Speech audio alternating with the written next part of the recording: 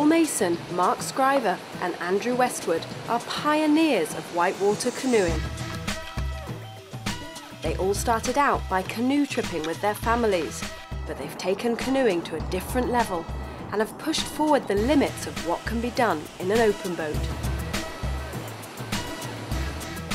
They've written books, made DVDs, taught classes, and designed smaller and more robust canoes. And most of all, they've been out there doing it for years, trying new moves, nailing new lines, and in Mark's case, becoming world freestyle champion. I'm Paul Mason. Uh, I've been canoeing since I was one day old. I don't think I was a really strong paddler at one, but when my dad did the series of Path of the Paddle canoe films, I developed skills. Creeking lines where you have big drop and substantial carnage if you screw it up definitely give me butterflies. My main coping strategies eat a lot because I find there's less room in my stomach for the butterflies. I kid you not. I'm a cartoonist. That's what I'm supposed to be doing, well, today. But I'm out here getting new material. I find a lot of my paddling buddies very inspirational.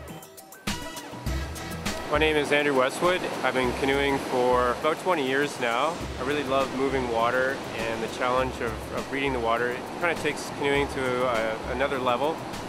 I also like instructing. I have a real passion for trying to share the, uh, the art of canoeing. I really get a charge out of watching students as they acquire those skills and basically take up a love of the sport.